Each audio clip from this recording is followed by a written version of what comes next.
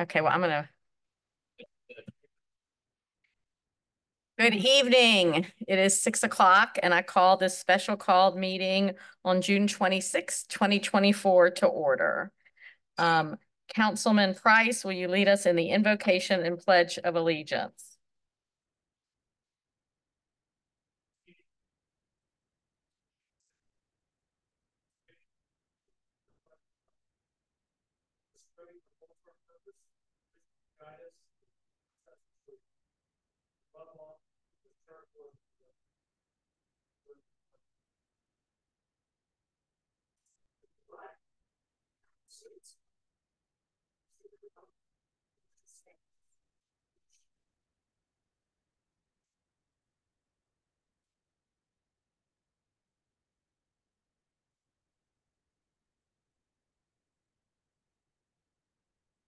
Public comments. I don't have any public comment cards. We'll have another session of public comment at the end of the meeting, should anyone want to address us.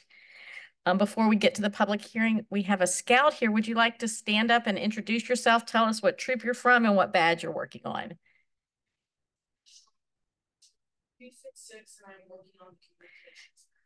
Thank you for being here and scouts provide a lot of benefits to both the participants and to our community. With that, we will have a presentation and a public hearing. Ms. Robinson, whenever you're ready. Good evening, Mayor, members of council. Um, I'm Delisha Robinson, the Assistant Finance Director here at the City of Dunwoody.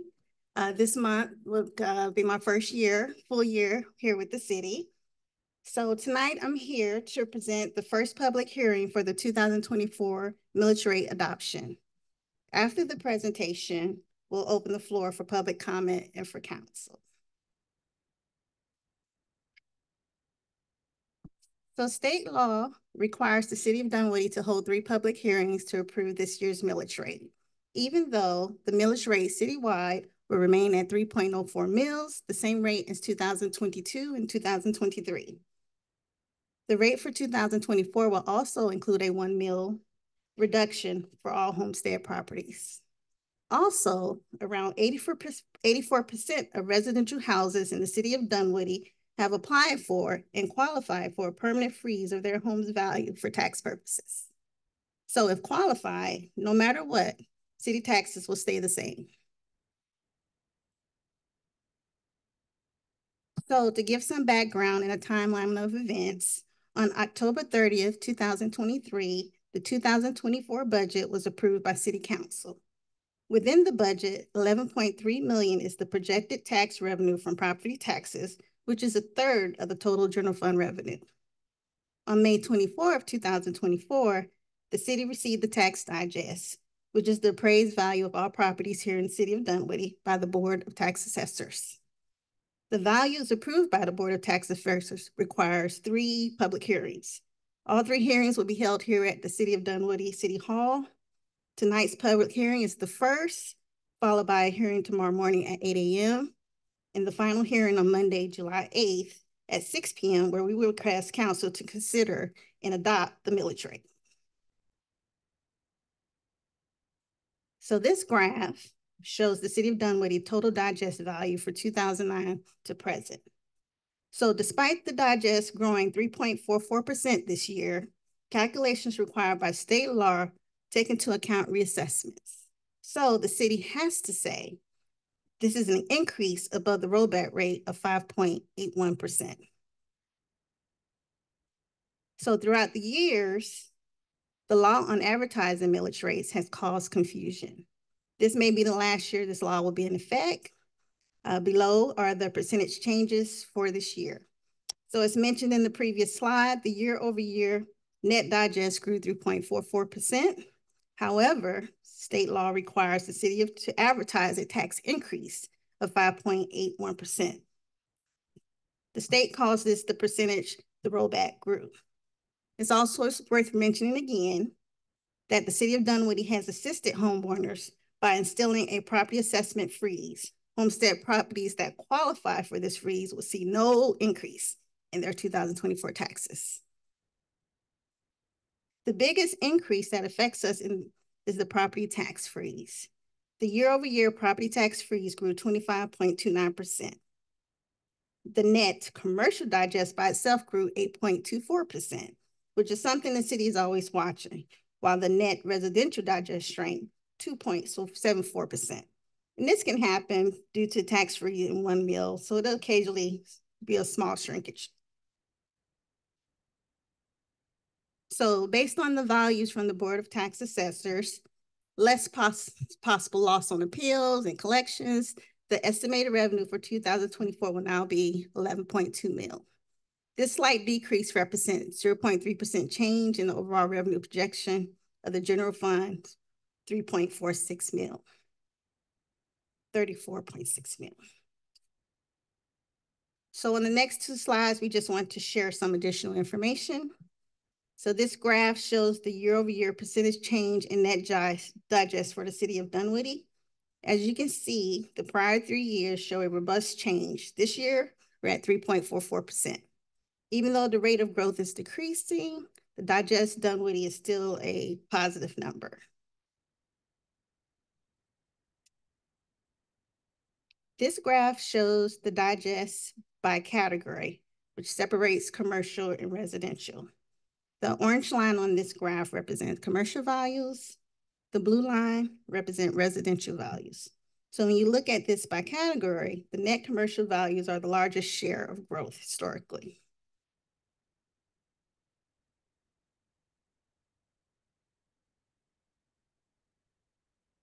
So we also would like to share some additional information on House Bill 581.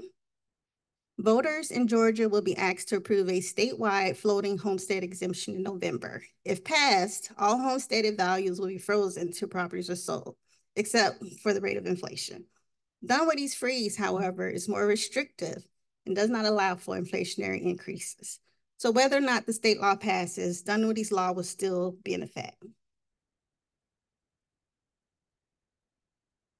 So the staff recommends adoption of a rate of 3.04 mils at the July 8th meeting after the three public hearings and adjust the revenue accordingly. That concludes the 2024 millage rate presentation. And thank you for your time. Thank you. All right, now we will open the public hearing. Um, each side can have up to 10 minutes. So if you would like to speak against us maintaining the millage rate at 3.04, please join us up here. If you're speaking against us maintaining it. If you're speaking, uh, Mr. Hickey, are you coming to speak against it? Okay, come on up. I just want to make sure you weren't making your way to the front for the four. Thank you, ma'am. I am Robert Hickey, a citizen of Dunwoody for almost 50 years. Mm -hmm. I stand tonight as an interested, involved, and concerned Dunwoody citizen. Just as I have voiced my opinion at many, many similar public hearings over the years on property taxes. I hereby request that the council reject the proposed millage rate increase and instead roll back the rate to 2.873 mils or a, or a level that would be revenue neutral to the city. I love our city. It's the best place in Georgia and the USA to live, work, and play. It is mostly safe, mostly convenient to the necessities, amenities, and places we want to go. And Dunwoody is affordable and friendly. But many of the factors that have made Dunwoody great are changing to what I consider to the negative. Case in point, the proposed property tax rate would be burdensome to a large segment of citizens who cannot afford higher property taxes, senior citizens, retirees, and citizens living in poverty. Apartment rentals are also determined by property taxes. As much as 20% of the city population, according to data presented by the census and in city documents, are in these categories. This economy, with inflation rates that outpace the cost of living for many, is already weary and burdensome to as many as 10,000 of our fellow citizens in Dunwoody. Ten, it's actually more than 10,000 with a 20% rate. 10,000 people in Dunwoody will have issues living with this tax increase. We became a city to control our lives, and people have relocated and remained here for this reason. I have attended public hearings on the city millage rate for property taxes for most of the 15 years our city has been a city. The cities of the citizens of Dunwoody voted overwhelmingly to be independent of DeKalb County for a number of reasons. But the most important reason was because county leadership did not listen to citizens' concerns about their needs. DeKalb County only wanted our tax dollars. After becoming an independent city, our elected leaders listened to citizens for many years and started the process of filling out our needs, including a focus on crime and public safety and traffic congestion, which were the top concerns in the 2023 survey of citizens that was commissioned by the city of Dunwoody. Our current city officials, from whom we voted to represent our wants and needs, appear to have turned deaf ears to these concerns in the interest of what? Wider 12-foot trails, bike lanes on already congested streets. In 2023, Dunwoody citizens voted overwhelmingly no, 57% to 43%, against 12-foot wide trails and bloated park construction and defeated the $60 million bond referendum. During five regular council meetings so far this year, the council has taken various actions that would result in the city spending $39,783,540 on trails. Don't you listen? November, we voted 57 to 43 against trails. There was so much new spending that a staff and a memorandum stated some projects in the five-year plan may have to be deferred if the federal money is received. Well, some, some regards, I'd like for deferral of all of them, but some of them will have to be deferred. A trail on North Shallowford was one of these projects. And this trail was not even in the details of the $60 million bond referendum. I guess our concern about substituted product projects was very valid. And our fellow citizens agreed. Our city has a spending problem, not a property tax revenue problem. Total city spending in 2010, our first year of the city, was slightly over 16, almost 17 million. In 2020, pre-pandemic, the city spent 37.5 million, 162% increase from our first year as a city. Budgeted spending for this year, 2024, is $60,812,751, a 360% increase over our base year. In summary, our elected leaders, you, need to return to listening. Dunwoody citizens do not want trails as exhibited by the 57 to 43 percent defeat of the $60 million bond referendum. Our city needs to operate more efficiently, reduce unintended, unneeded operations, listen to citizen voters, and focus on needs. I object to the 3.04 millage rate. Thank you for your time tonight, listening to me as an interested, involved, and concerned Dunwoody citizen. Thank you. Thank you. Sharon, how much time is left for no? All right, is any, we have four minutes remaining on the no side. If anybody would like to speak on the no side, um, you four minutes. Seeing no one, I open the floor for 10 minutes on maintaining, if you're for maintaining the 3.04 millage rate. All right, seeing no one, um, unless there's an objection, I close the public hearing. Um, and now we can have council discussion and questions. Uh, if Ms. Robinson wants to come back. Does anybody, she approaches? Uh-huh. Thank you for your presentation. Um, can you, we, I understand our budget and I look at our budget book and stuff. Can you, it's not part of your presentation, but can you kind of talk about the difference of what types of budgets we have? There's an operating budget, So this is, this is coming up uh, and different funding sources, right? So this is a, pro- we're focusing on the millage rate and the property tax. And I think we kind of want to level set to the public that there's other sources of income that the city has that we budget for, and it's used for different things. So, um, could we just have a, just a, a quick one-on-one for the greater public to level set the property tax revenue and uh-huh. where that goes, and generally speaking, what we do with that? Property tax revenue? Ri- Right, just the big, yeah, right, because we're talking about the millage rate, it's about property tax, just kind of level setting, because there's some, some conversation here about capital projects. Okay, so property taxes, that's our largest income for the city of Dunwoody. And so that goes towards a large range of the projects here in, here at the city of Dunwoody, and a lot of operating expenses here as well. Um, so it's definitely something that we look at and manage. We also have other forms of revenue that we look at as well, but property tax is definitely the largest and it definitely is what we use the most to cover most projects here, both operating. Okay, Um, Councilman Seconder, I'll help a little bit on this, uh, because I kind of know what you're hitting at. Uh, the property taxes that come into the city of Dunwoody go strictly into the general fund. And the largest department in the general fund, one third of it is now the police department. So we get about eleven to twelve million dollars of property taxes, and the largest department that goes to in discretionary funding, it goes to police.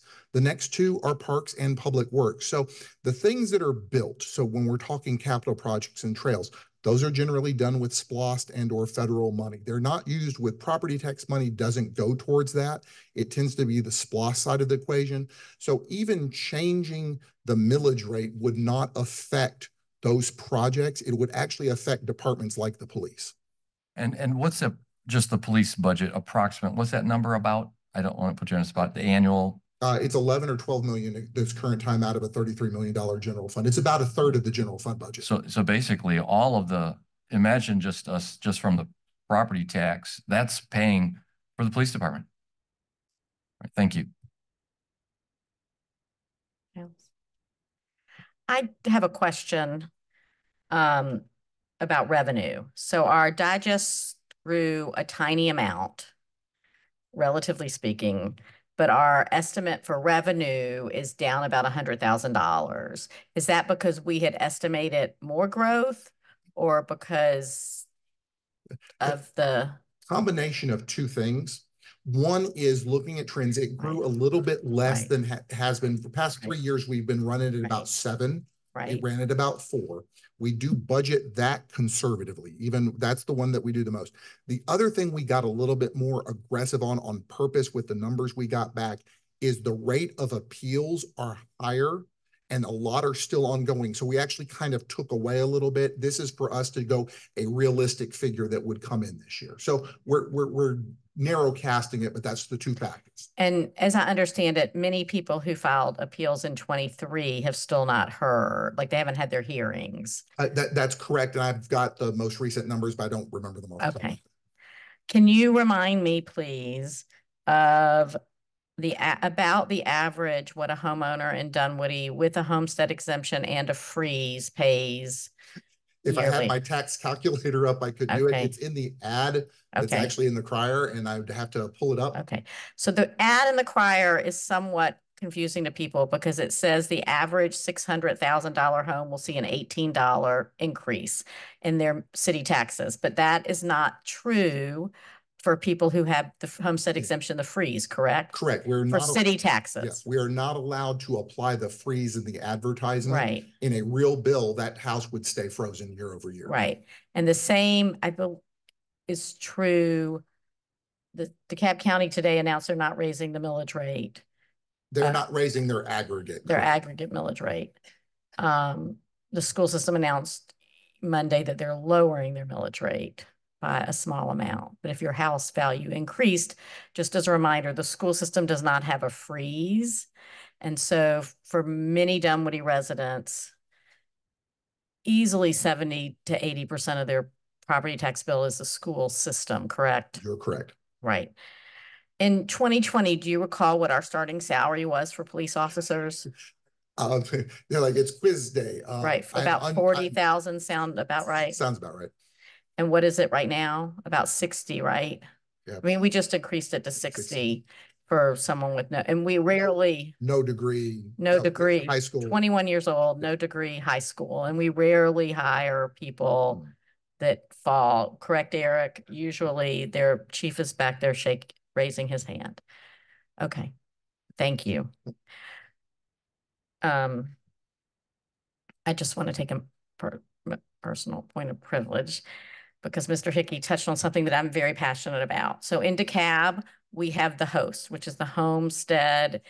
Um, it's the, it's property tax relief for only homeowners. Whereas many, all the other metro counties, I believe, and many other counties across the state have something called the LOST, which is the local option sales tax. And that sales tax is used to provide relief for all properties in the county that has those sales taxes. You know, the HOST was adopted a long time ago. It's only in DeKalb and Rockdale. It's a, a rare thing. It's actually used as a threat by counties over cities when they have their LOST negotiations. The counties will say, if you don't cooperate, we're going to have a HOST. So it, it, it's, it's a challenge. So it would not have been my first pick. So with that, um, the public hearing, I've already closed the public hearing. We've had discussion. We will be back here at eight o'clock tomorrow morning to do the same thing. And, um, we have a consent agenda. Move to approve. Moved by Joe, Second. second by Rob. Any discussion or questions? Seeing none, I call the question. All in favor, say aye. Aye. Any opposed? Say no. Um, we have public comments. Anyone like to make a public comment? We'll have three minutes. Seeing none, um, I need a, uh, we have no executive session. I need a motion to adjourn. So moved by Catherine, second by Rob, all in favor. We stand adjourned. See you in the morning.